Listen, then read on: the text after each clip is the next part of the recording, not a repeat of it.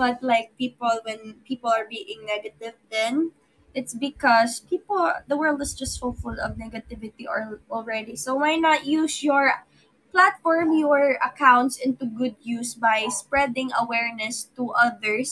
Kasi it's really in need then. And just be a responsible citizen be a responsible um human being and stop the negativity it's quite scary already to be honest yeah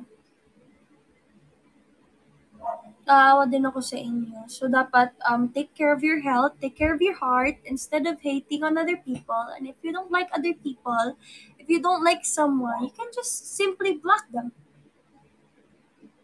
Mm, until 10 lang ako, guys. So, until 10 lang ako. So, simply block them to keep your heart um, happy and healthy. Block the people that you don't like. Simple stuff.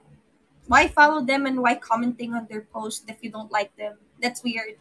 And it's scary. Uh, I feel I felt scary for your health actually.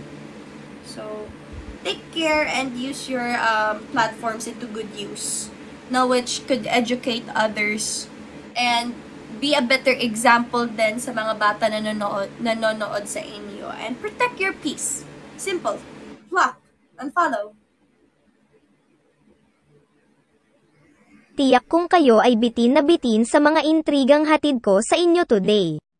At hanggang dito na lang mga Mars, ito ang chikahan, showbiz at intriga. Sa mga bago lang sa channel, please don't forget to like, subscribe and hit the notification bell. Comment down below, and share the video. Maraming maraming salamat. Bye everyone.